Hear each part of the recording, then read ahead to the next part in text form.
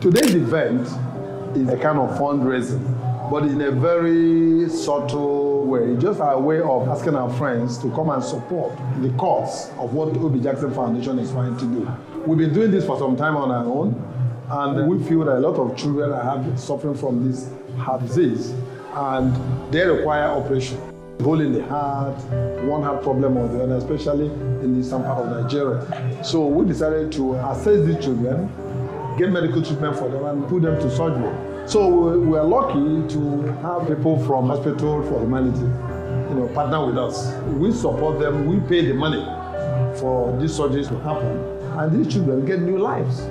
So instead of allowing these children to die because the parents were not able to afford the cost of surgery, we decided to take it upon ourselves as a foundation to do those things. Chimamanda was diagnosed with a heart defect. When she was diagnosed with, with this, it looked like a hopeless situation.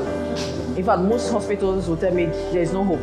She barely walk. She couldn't. She go to school, but she stay at a place. You know, she's always on emergency, always having crisis. At a point, I was concentrating only on her because she needed all the attention. When I come in contact with Obi Jackson Foundation and Hospital of Humanity, I see a lot of hope. Everybody scream hope to me. Amanda has gotten much better. Amanda has gotten care. Amanda has been given adequate health care and there is procedure, there is plans on ground to correct whatever defects that is, is wrong with Amanda. I am happy. I'm happy because there's a hope.